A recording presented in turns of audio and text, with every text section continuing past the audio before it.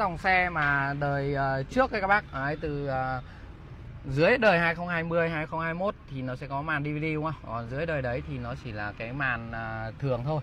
Thì chưa có um, các bác chỉ nghe đĩa được thôi. Thì uh, các bác nâng cấp cái màn ví dụ đây là một chiếc Vios 2018 này. Đấy, thì khi mà mình uh, nâng cấp lên màn Android nó sẽ là cái màn chính hình như thế này. Và đây là cái viền dưỡng zin của theo xe nguyên bản nha các bác nhé đó lên màn này.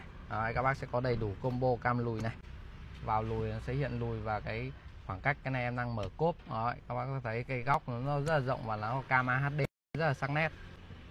Ở đây thì các bác sẽ có cam hành trình phía trước này. Đấy, ghi hình phía trước nhỏ gọn như này. Còn cái này là cam cũ của bác chủ đã lắp từ trước rồi.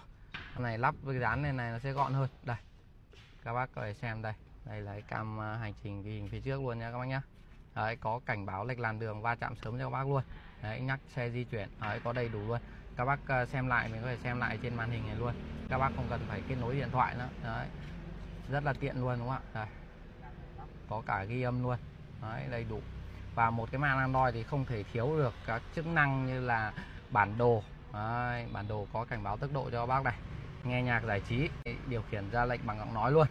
Chiếc Vios này thì ờ, sẽ ra lệnh giọng nói ở trên vô lăng này luôn các bác này. Thì mình chỉ cần bấm vào đây thôi. Các bác chỉ cần bấm đây thôi mở video nhạc trẻ remix. Đó. Các bác chỉ cần nghe muốn nghe nhạc gì thì mình chỉ cần bấm vào mình ra lệnh cho cái màn nó hoạt động luôn. Đấy, nó sẽ làm mở cái uh, theo yêu cầu của mình. Đó. Đây.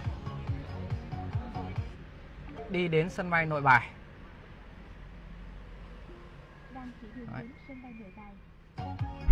các bác uh, rảnh tay thì đương nhiên là mình chỉ cần bấm trên này thôi đúng không ạ? Đấy, tăng giảm âm lượng qua bài nách bài.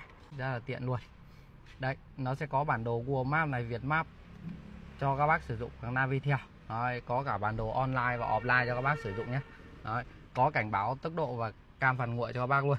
Đấy, bác nào mà đang uh, sử dụng xe mà chưa có những cái tính năng đấy thì uh, các bác có thể qua Cala Thái Nguyên để trải nghiệm các bác nhé.